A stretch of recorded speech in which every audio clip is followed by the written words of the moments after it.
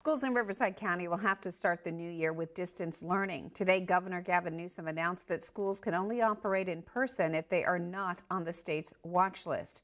Riverside County is on that list. News Channel 3 Shelby Nelson joins us live at La Quinta High School with how district uh, plans on maintaining a challenging curriculum for students at a distance. Shelby.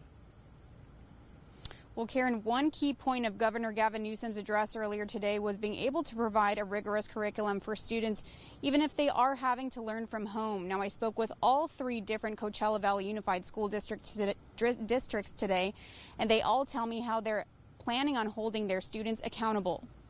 Learning remains non negotiable, but neither is the safety of all of our cohorts of support staff as well as our children. A clear plan for the start of the new school year, at least in Riverside County. Students will be at home learning from a distance. Uh, we also want to create a challenging environment where assignments are equivalent and terms of what you would otherwise get in an in person class setting. A very clear message from the governor to keep up with what students would undergo in a traditional classroom setting. All three Coachella Valley school districts had already committed to online learning at the start of the year. One of the main challenges now is figuring out how they'll keep the competitive momentum going. That closure was tough. And the distance learning that we had in March to, to June is not what we are looking and planning for uh, for August. The transition for schools in March was abrupt, but come the new school year, it's a different story. Students are being held harmless in March. That's much different than now.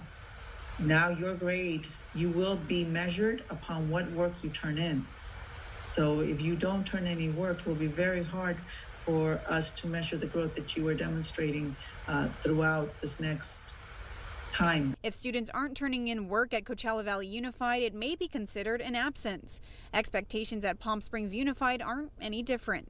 New content, meeting students where they are, pushing them forward, really helping them acquire those skills and abilities that they need to continue to progress grade level to grade level. Educators say now more than ever, parent participation is key. It's going to become very important for the parent to work with the teacher when there is a situation at home that they communicate together so they are able to receive the instruction that they that they need to get every single day. Now, Governor Gavin Newsom did announce earlier today that the counties will have to stay off the state's watch list for at least 14 consecutive days in order to consider in person instruction. I'm live in La Quinta, Shelby Nelson, News Channel 3.